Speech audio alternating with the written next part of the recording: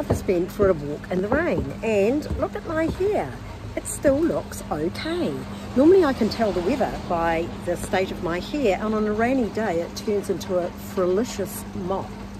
So, see, look at the rain on the ground, very wet. I'm still handing and my curls are still intact.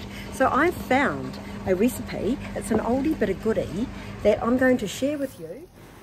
You get one and a half cups of filtered water and three tablespoons of flaxseed. You boil together for about six or seven minutes until it reaches this.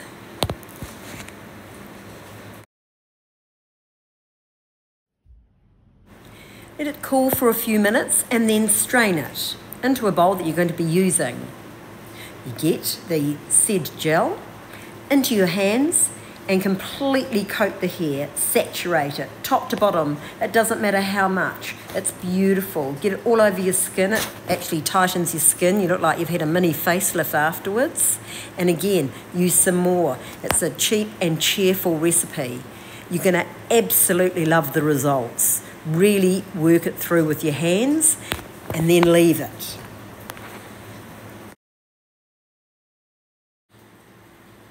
You'll need to make this gel up. It only lasts one to two weeks in the fridge, but the results are sensational.